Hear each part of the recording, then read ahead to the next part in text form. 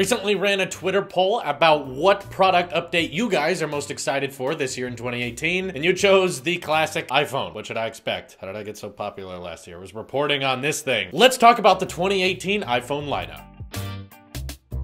So I'm very happy to announce that there are a couple more leaks confirming that idea that Apple is going to refresh the iPhone SE in March. A couple rumors spreading around that they are planning an update to it. We're not exactly sure how major it is, but I'm still sticking with my theory that they're going to give it the iPhone 8 treatment. I think it's too much of a budget phone for Apple to go all in on it and make kind of a 10 version with Face ID, no home button, dual camera, and all that. I also think trying to stuff a dual camera into a phone that's that incredibly small is probably a little too difficult, so they're probably still going to keep the SE in the budget territory, so that's why I don't try to imagine the most amazing things coming to the next iPhone SE. I think it'll still be a basic upgrade. It will seem a little bit hypocritical for Apple to release something that still has Touch ID, still has fairly large bezels, and still has the same design approach of a phone that is five, six year old design now. But what they are going to do to it is give it a much faster processor, similar to the original SE. They gave it the fastest processor that was available in an iPhone at the time, so I think they'll do that again and include the A11 Bionic chip in the iPhone SE, make the entire back of it glass so it can support wireless charging, up that camera, perhaps allow it to shoot 4K at 60 with that new supported file type. I'm hoping that, of course, they remove the headphone jack on it, but they make room with that removed headphone jack, which keep in mind on a phone that small takes up a lot more space than on a regular 8 Plus or 10, meaning they could use that leftover space on a Taptic engine. That's one big loss you have on a regular iPhone SE is that you don't get 3D touch, you don't get that taptic feedback when sending messages or viewing live photos. It would be a really cool and noticeable update if on the second generation of the SE, they were able to include that, as well as the new water resistance ratings. I think if they had all of that at a price of about 450 to $400, they would definitely have a winner on their hands. And Apple iDesigner has also designed a lot of concepts for this next generation SE that I totally want to happen. I think he's spot on, but of course we're not really going to know until a couple months from now. But then of course there's the phones that a lot of people are trying to get excited for. Obviously, you've heard me talk about this, the iPhone 10 Plus, which maybe some of you don't realize, but it's the rumor that Apple's going to release a six and a half inch display on the next generation iPhone that will come in a Plus configuration as well as the regular 5.8 inch configuration. Which I mean, I gotta say is pretty hard to get excited about. It's like, oh, great, they're making a bigger one. Whoa is that it? Like, is there any other differences? It's kind of hard to get excited for the changes that are going to happen to the regular 5.8 inch model, and we're still not exactly sure what they'll be called. My prediction is that they're going to go with the yearly route because right now, now that the lineup is 8 and 10, and the 10 is a Roman numeral, it's going to be very confusing if they make a 9 and 11. They just shouldn't do that. I think it would make more sense if in September they just call it the iPhone, and then of course us tech journalists and you commenters out there will just refer to it as the 2018 iPhone iPhone. And then next year we'll refer to it as the 2019 iPhone. I know it's kind of a mouthful, but it will be easier to pronounce down the road opposed to iPhone 11, 12, 13, 14, 15. That gets confusing. But a couple of the changes I would like to see on the regular 5.8 inch model is for one, being able to shrink that camera hump. There's been no leaks or reports that they're working on that, but it was definitely one of the most common complaints people had with not just the 10, but all iPhones in the recent years. We first saw the camera hump on the 6 and 6S, and over time, we've noticed that they haven't really gone away. In fact, they've even gotten more protruding and more noticeable. And I really wish that as Apple is perfecting their design, as I do believe that this is the best iPhone they've ever created, next year has to be all about perfecting this design. And that is one very simple thing that I think could go a long way when people upgrade. Second of all, we are actually getting leaks and rumors saying that the next generation of iPhones are going to support larger batteries, meaning they're going to find a way to shrink down the CPU and the motherboard on the next generation iPhone so that they can hold more battery space. But I also also think that leak is also just obvious because the 10 Plus, the processor components might be a little bit larger than the regular 10, but for the most part, I think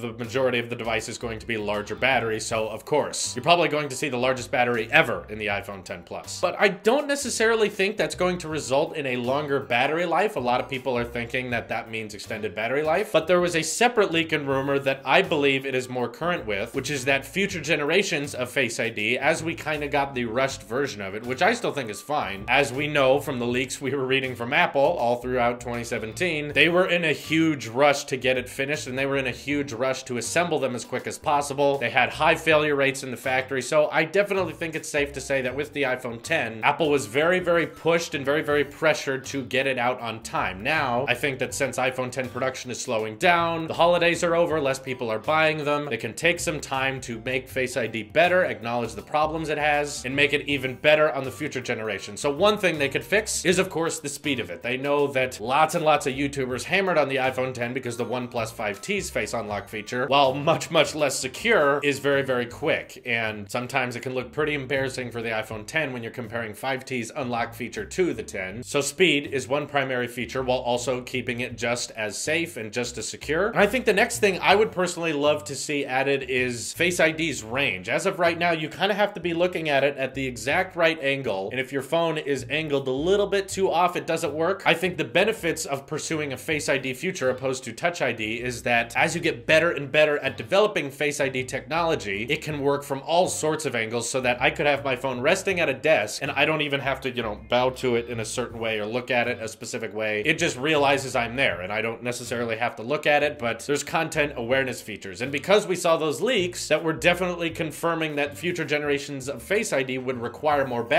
I think they could do something that I was theorizing they were going to do with Face ID before this came out, which is perhaps when you're using your phone, every once in a while, it scans the user's face and says, yes, that is my owner. This is okay. Keep doing what I'm doing. But as soon as my phone is handed off to someone else, it can do its routine scan and be like, nope, that's not my owner, and lock certain apps. It could be more encrypted and locked down and realize that, hey, the user interacting with this device is not my rightful owner. And in that way, the next generation iPhone could definitely be one of the most secure out there because now someone can't even use your phone for 20 seconds before the phone locks itself and says, ah, give the phone back to its owner. Of course, that would be complicated if you want other people to use your phone. And that's one issue I think Apple is running into right now is a lot of people are mad that you cannot add multiple faces to Face ID. After all, we could add multiple fingerprints to Touch ID, right? Well, Apple actually claims that the multiple fingerprint mode was not intended for multiple users and just because you have multiple fingers, they added multiple finger options. But because you only have one face, they're only letting you add one face, and I disagree with that. I think it should be kind of hard to add an extra face, like you should have to enter your passcode, and I believe you had to do that with fingerprints anyway. But definitely a very nice upgrade to Face ID would be the option of maybe adding just one or two more faces so that the phone doesn't constantly lock itself when it's being handed to other people. But say if a stranger was picking up your phone and you didn't realize it, it would lock and not show any private information. Of course, there's the other standard improvements I'd love to see, like an A12 chip, perhaps on the next generation iPhones, we're gonna get six or eight gigs of RAM. Incredible Geekbench scores, I'm sure. One thing that I would think is kind of a neat cherry on top is if, because Apple has so many 5K iMacs out there, perhaps the A12 chip with the new optimizing storage format that they introduced on iOS 11, perhaps the next generation iPhone could be the first phone to shoot at 5K video. Probably not 60 FPS, but just super high res video that's for cinematic stuff only, but would definitely look beautiful on any 5K iMac. I think that would complement the devices very well and make a very well-rounded ecosystem. Now, as I've mentioned before, I'm still participating in the portless challenge. I have not plugged anything into my iPhone 10. However, I think it's still a little bit too soon for Apple to remove the lightning port for good. While I think that's coming in the future, I'm not anticipating that it's gonna be this year. Most likely 2019 or 2020 when they actually ditch all ports entirely. So I wouldn't expect that at the end of 2018. But I do expect that because they've perfected the manufacturing process of the iPhone 10, we'll probably get four colors. Maybe a product red one, the blush gold one, and then of course silver and space gray, opposed to the very disappointing two color options of last year, which both of which look very good, I'll admit, but I'm sure even Apple wishes they could have made more. But because to limited supply, limited parts, they weren't able to diversify the lineup very much. But I think this year they'll have plenty of resources and plenty of time to make multiple versions. And I'm guessing they're probably going to stick with the same storage configurations of 64 and 256. Of course, better waterproofing, better speakers, and all that is expected. I can't wait to see the iPhone 10